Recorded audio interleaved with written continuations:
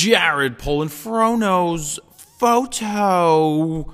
Dot com, and we're here with the Raw Edit of the Week number 60. We've hit 60 weeks and is brought to you by AllensCamera.com, who actually starting today when I'm putting this video up, which is the 17th of January, is running a Sigma deal. Uh, you can check them out at, give them a call, 215 9.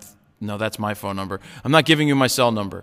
Uh, just look at Allens, go to allenscamera.com. You can get all the information for the sale that they're running on all lenses. I believe $200, and, $200 and up, you're going to get 50 bucks off. This is the Raw Edit of the Week 60 as supplied by Adam Lerner. It's a behind the scenes shot of a model getting ready to go down the runway. And if you recall, back a couple weeks ago, we had the ScreenFlow finalists or the ScreenFlow uh, contest for somebody to win. And there's been, I think I picked six different ScreenFlows here for you guys to vote on. So please go ahead and do that vote. Uh, the link is below on froknowsphoto.com. So here's the photo to edit.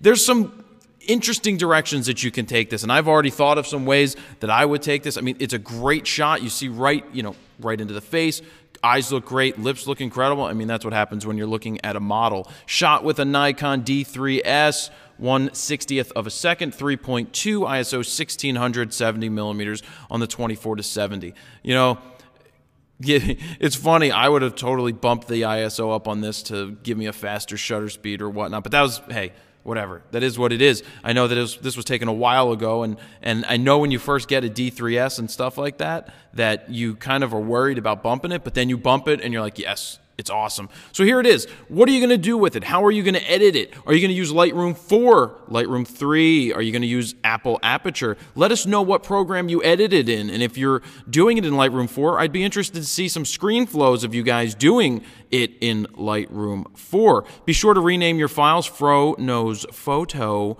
Raw Edit 60 when you go ahead and post them on Facebook, but most likely, uh, most definitely post them in the forum because that is where I take the photos from for your raw edits of the week each and every week. So something new, you can add it to Pinterest. Go ahead and put your photo on Pinterest or repin the photo that I put on Pinterest. You can follow me on Pinterest by finding, uh, I believe it's just under Jared Polin, and we're going to try out Pinterest and see how it works.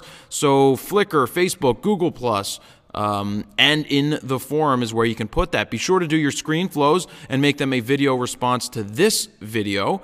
And I will definitely check them out and showcase them at the end of the week. When it comes to your raw edits of the week, I like to put the videos over there in a playlist along with the uh, your edits. So that is cool. So this is raw edit of the week number 60. Let's see what you do with it. Do those normal edits, but then go ahead and throw in one of those abstract off the wall, something totally different where you're just trying something experimental. And let's see what you come up with. If you'd like to send in a raw file, go ahead and send it to froknowsphoto at gmail.com something cool. Let's see what those files are. I've got a backlog of them that have come in. I'm always looking for newer shots, something cool that's worth editing that a lot of people can do that would yeah, that would be great. So that's Raw Edit of the Week number 60. Thank you, Allens Camera, to be uh, for being the sponsor. Don't forget about that Sigma deal that's running right now, January 17th uh, for the next couple days, and this is 2011 when this video is going. No, 2012 when this video is going up.